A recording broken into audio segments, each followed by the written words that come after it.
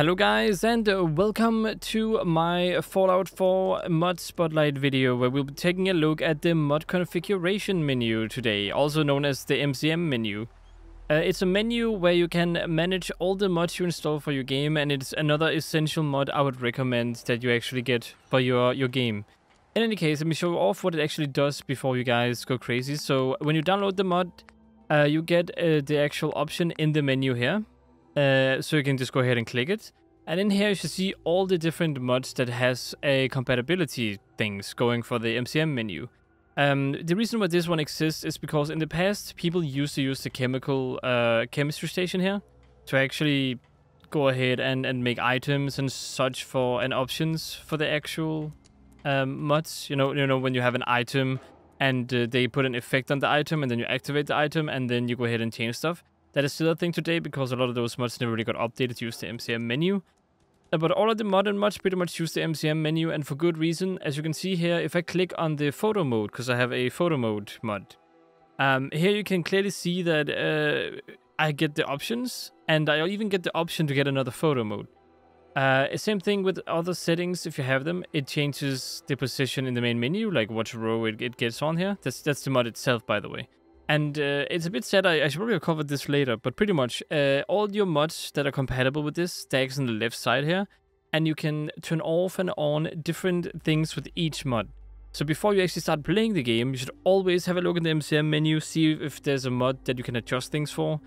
And uh, if there is an issue you encounter, then head back into the MCM settings and see if you can actually change it, not the MCM settings, the MCM menu, and then go ahead and see if you can't change everything inside that menu. Uh, this is another quick one, uh, but it's pretty much necessary for me to kind of just cover them little by little and, and mod by mod. I don't really want to, again, draw out the videos, and uh, I just kind of want to go straight to the point on uh, whether or not I would 100% recommend this or whether it's essential or whatever. But uh, this is definitely a mod I always install. Whether or not you want it is technically up to you. A lot of the mods probably still have items that you can have in here. Uh, but it's something I would definitely recommend you get if you plan on modding your game further. If you don't plan on modding your game, um, then the Fallout 4 uh, patch, uh, unofficial patch, and the and the this one pretty much, um, or just the unofficial patch technically is probably just enough for you if you don't plan on modding the mod uh, the game at all. Um, but but yeah, a very useful thing, and I would highly recommend getting the mod configuration menu. Uh, it's also made by Registrator 2000, and yes, I'm still new to this, so I need to say the name in the beginning, but Thank you, Registrator 2000. Just saying, always use this. So a very useful tool. Uh, but that's pretty much it. Uh, I will leave the mod in the description below in case you guys want to try it out for you when you mod the game.